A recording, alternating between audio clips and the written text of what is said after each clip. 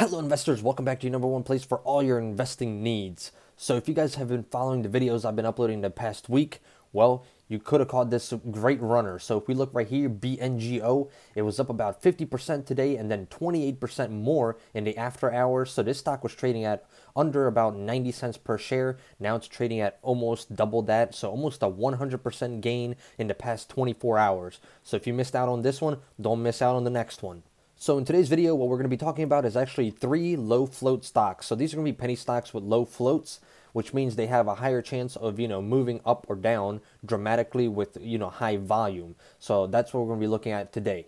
So as we see here, three low float penny stocks to watch before 2021, which are up about 70% this quarter. So now obviously the first thing we're going to say is are low float penny stocks good to buy? So this is a great question and one that you'll have to answer for yourself. The low the lower the float of a penny stock, the higher the chance of a big price fluctuation, which is what I stated earlier in the video. Think of it as a simple economic theory. A low supply environment paired with a higher demand equates to prices moving up quickly. This is the attraction of low float penny stocks. However, just as quickly as they move up, they can fall back, leaving bag holders in the wake of the sell off. So if you're looking for a low float penny stock to buy right now, keep that in mind. So obviously, like we said, this is high risk, high reward.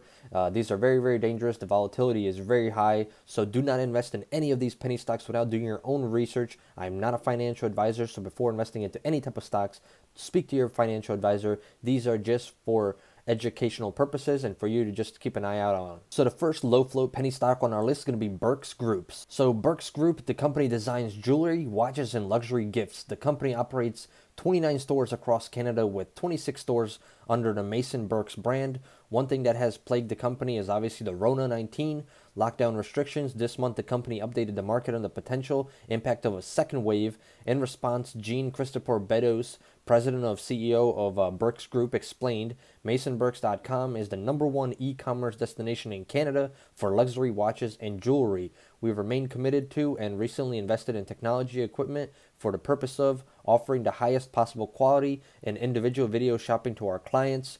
Uh, with under 18 million shares outstanding and some outlets showing a float below 5 million, BGI comes onto this list. The unusual volume has come as a sign for some traders to add this to their watch list this week.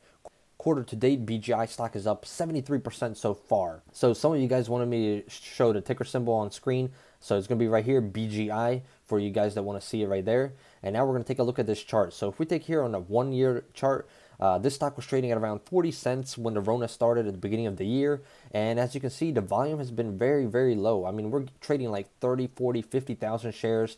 But then you can see here, 34 million shares get traded. The stock jumped from about 69 cents all the way to about a dollar and 25 cents here high, which is a pretty decent high to have. We pulled back down again, and then we continued another run up here with volume at around 3 million and then 4 million shares. The stock went from about 72 cents to about a dollar and 15 cents, and now we're back down on this trend. Now, what we're looking here is for the support. So the support that I see is around this 80 cents area, maybe 75, 78 cents area. And then the resistance that I see is going to be around this, uh, let's just say about a dollar and 10 cents. If we can break through that $1.10 area, we have all the way to about a dollar and a half before we hit our next resistance, in my opinion, and continue to run up after that. Um, but obviously, it's going to take a lot of power. It's going to take a lot of volume with this one to push it up, and we'll see how this one goes in the next few weeks. So keep an eye out on this one. If you guys made it this far into the video, go ahead and real quick smash that like button for me. Let's get 100 plus likes on this video. It obviously helps the channel grow, helps the YouTube algorithm. We just hit 10.7 thousand subscribers. We have three days left in this month. So please go ahead and subscribe to the channel and turn on that bell notification for more videos like this. And let's try to hit 11,000 by the end of this month. Obviously, guys, I'm going to be posting these penny stock videos every single week. So if this interests you, go ahead and join the channel. So the second low float penny stock on our list is going to be Obalon Therapeutics. So this one is another low float penny stock gaining momentum on Tuesday. Shares of OBLN surged to highs of about $2.06, bringing its Q4 move to about 119%, which is a huge, huge move in my opinion. You'll see on the chart that OBLN is no stranger to big uh, price spikes. Earlier this month, shares exploded to highs of $3.13 from about $1.57 the day before. We also saw something similar back in the first half of the year as well. The overall trend has been bullish, but it has obviously come with considerably high levels of volatility where the stock moves up, stock moves down dramatically.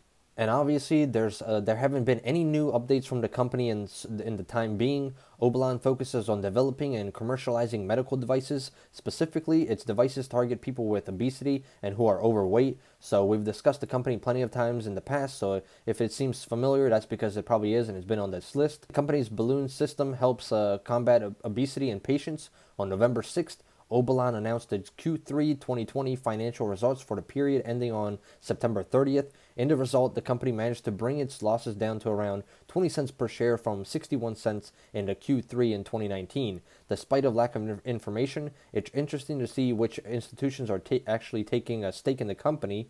Uh, Armistice Capital LLC reported a 14.2% stake in the company earlier this quarter. Furthermore, Morgan Stanley reported 5.9% at the end of the third quarter. So let's take a quick look at the chart on this stock. So once again, the ticker symbol is going to be OBLN. It's going to be right there. And if we take a look at the chart, if we're looking here at the one-year chart for this stock, uh, you can see, you know, pre-Rona, the stock was trading at 65 cents, and then boom, right here, 7 million shares traded. Usually it's around 50,000 shares. So 7 million shares traded. So volume was huge. That's a big, big key factor with these penny stocks. Stock goes from about 68 cents all the way to a high of about a dollar and 60 cents, a dollar and 63 cents.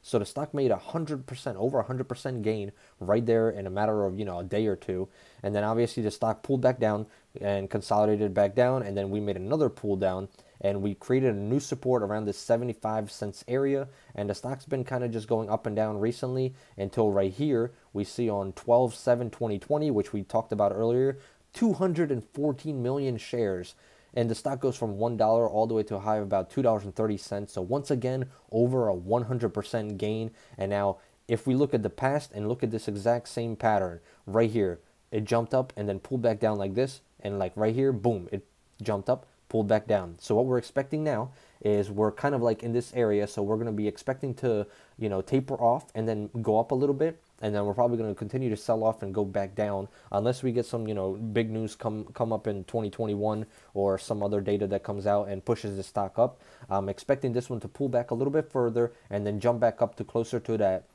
you know two dollar area and then we'll see what happens with that. If we get you know obviously volume and some you know news in 2021 the stock could continue to go up and make new highs or it could uh, continue to pull back down create a new support level and then in the future some you know mid uh, 2021 or after that it could potentially break out once again. All right guys and finally the third low float penny stock on our list is going to be emerson radio corp. So obviously uh, this one right here, the company OS is hovering around 21 million shares. However, some sources showed a float of around 6 million.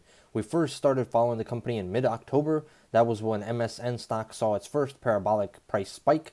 Shares jumped from 70 cents to about 92 cents within a single session.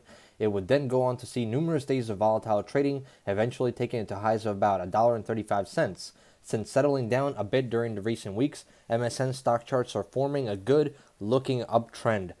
Obviously, in total, the penny stock is up about 84% so far quarter to date. As has been the case all year, Emerson isn't one for releasing news, but the obvious boost in trading volume has traders watching.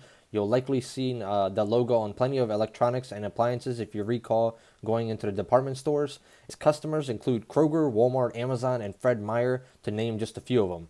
So as far as the fundamentals go, taking a look at the last 10Q shows growth for the three month ending September 30th, 2020. Uh, net product sales were 2.2 million compared to 1.4 million for the second quarter of the fiscal 2020. It was an increase of 60.3%. Houseware products net sales alone 112.4%. So, given this growth and the latest uh, Rona stimulus optimism, MSN could be one of the low float penny stocks to watch before 2021 as it could continue to explode. So, if we're looking at this one, it's going to be ticker symbol MSN right there. And if we open up this chart to see the full screen, we're going to be looking here at short term, mid term, long term. This stock is very bullish according to these analysts. So this stock was trading around 67 cents at the beginning of the year when the Rona started. And this stock was, you know, going up and down. It was pretty much staying here between that 60 and 69 cents, you know, 79 cents uh, staying in that 5 to 10 cents area. And then right here, volume. Volume was key. Usually it trades around 26,000 shares, but right here, we can see it traded around 5 million shares. And then on the next day after that, we had 9 million, 10 million shares. This stock went from about 70 cents all the way to a high here of about a dollar and 10 cents. So it went up about 40 cents. So, you know, close to about 50%, a little bit higher than 50% gain. And then the stock pulled back down Volume picked up once again right here, trading at around 3 million shares and then 2.5 million shares. The stock went from about 83 cents to about $1.14, so another 30 cent gain. So it seems like to be making a nice pattern where the stock goes up, pulls back down, and then makes a new high, pulls back down, you know, higher highs and lower lows, which is something we like to see. We're kind of creating this wedge, as you can kind of see this wedge going up. And if we continue that wedge, this stock could break out and continue to fly up with some high volume, obviously, since this is a low floating penny stock. This one could explode, and we could see it run up past that $2 area if it can break through that resistance of about a dollar and ten cents that I'm seeing in my opinion right here. So if we can break through that and get some volume to push this one up, this one could definitely be an exploder in 2021. So keep a very close eye out on this penny stock as it could be a flyer.